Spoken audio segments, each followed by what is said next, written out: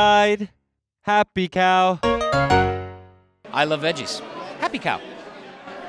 Hi, Juliana. Hi. Nice to meet you, Juliana. Nice to meet you, Seamus. Nice to meet you. How Yes.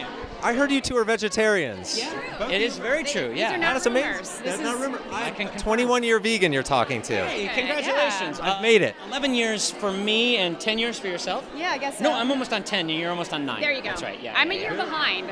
She's a year behind. Yeah. Took a year to catch up. So you two play a married couple on television and a married couple at home. Is that really difficult to play a married couple as actor and actress?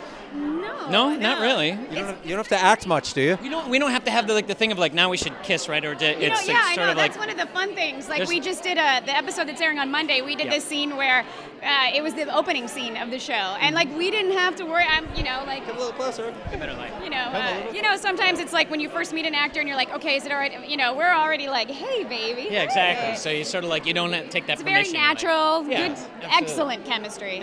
I can only imagine. Only imagine. So what brings you two to the Genesis Awards tonight? Um, well, you know, animal causes are near and dear to our hearts. Uh, I presented last year, and I was so thankful to be asked back. Um, and to present again. So, it, and I met a lot of people last year, and actually raised a lot of awareness in our own life.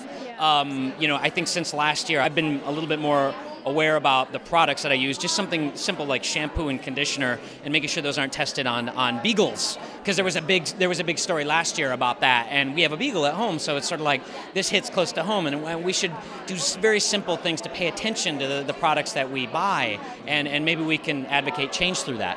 So what keeps you two from becoming vegan? We like cheese. It's cheese.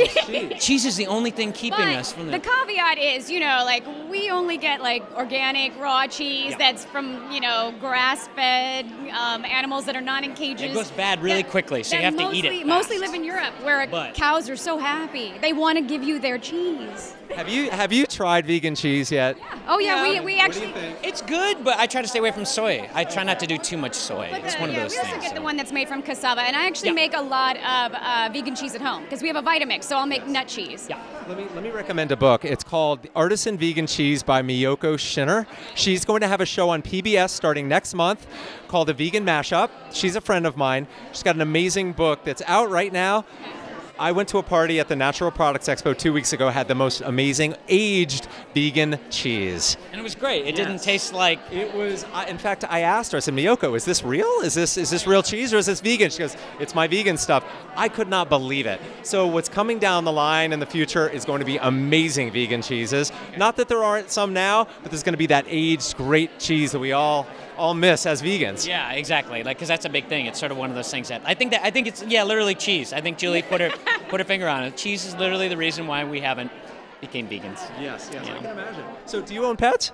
Of course, yeah, we have two rescue dogs. Two rescue dogs. Have you owned any dogs that aren't rescues before? Not in my life, no. Because I mean, with all the, it's it's you know one of those things like for like all the animals in the world, I, I don't think there's ever been one of those things where you can't get an animal that you like. Oh well, I have to go buy this one, or I have to go to a pet store. Um, they always just sort of show up and be in abundance. So it's sort of like okay, well, Yeah, how can you not? yeah. I, and I like I cannot look at Pet Finder or half of Facebook because we would have maybe 50 dogs, or I would just be crying every day. So I'm just like, we gotta save them all.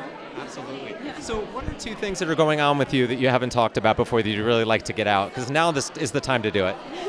Two things. Go for it.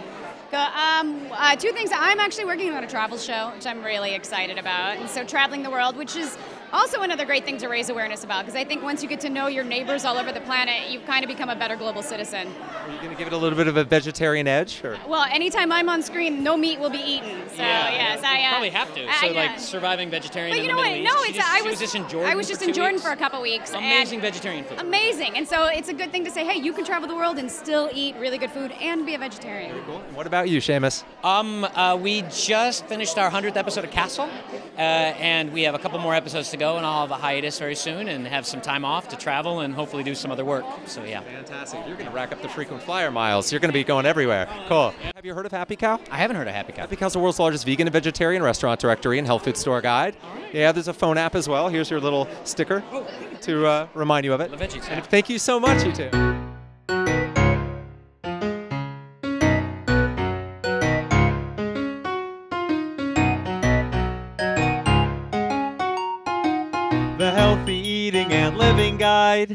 Happy cow.